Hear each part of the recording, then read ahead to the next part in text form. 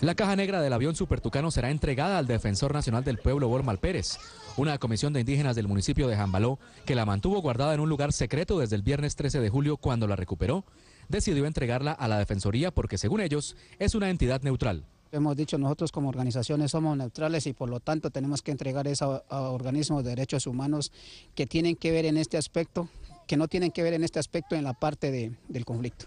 Los indígenas desmintieron las versiones de la Fuerza Aérea que decían que el aparato no había sido derribado.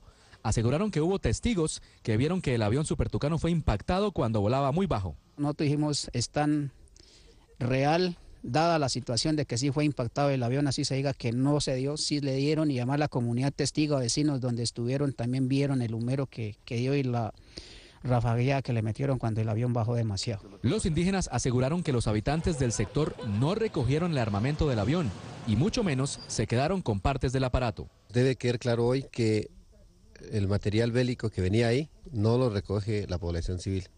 Seguramente lo ha recogido el grupo armado que, que, le interesa este material. Con el acto de entrega de la caja negra, los indígenas esperan purificar sus territorios de lo que aseguran es una guerra que no es suya.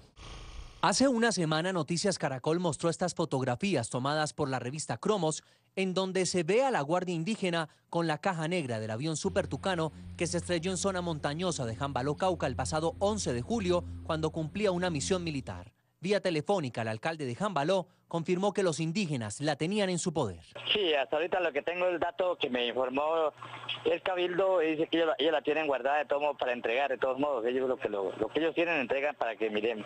Por su parte, Marcos Pechené, líder indígena, había asegurado que entregarían el elemento a un organismo internacional. Estamos diciendo que vamos a entregar eso a un organismo internacional neutral eh, que nos reciba eso y que pues hoy no nos condenen, o sea, ningún grupo diciendo que nosotros lo hemos cogido o que pues estamos mmm, este, gastando pantalla con esto. Entre tanto, la Fuerza Aérea insistió en la importancia de obtener la caja negra del Supertucano, ya que en ella está consignada la información de vuelo y podría ayudar a los expertos que investigan el accidente a aclarar lo ocurrido. Es fundamental tener acceso a este elemento de la aeronave. Eh, como Fuerza Aérea, porque nosotros tenemos la posibilidad de eh, acceder a, la información de los últimos 25 minutos de vuelo de la aeronave. El único siniestro aéreo del que se tiene registro de un supertucano en Colombia es el ocurrido en zona montañosa del departamento del Cauca. El costo estimado de cada uno de esos aviones de combate es de 10 millones de dólares. Con la entrega este domingo de la caja negra, los investigadores esperan conocer las causas del siniestro.